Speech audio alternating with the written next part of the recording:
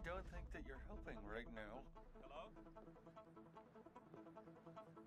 No wonder you lost the Cold War. A couple of Girl Scouts could tie people up better than this. Casey, what are you...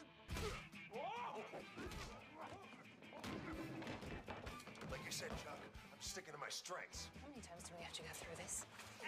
Ah! Where's Chuck Bartowski?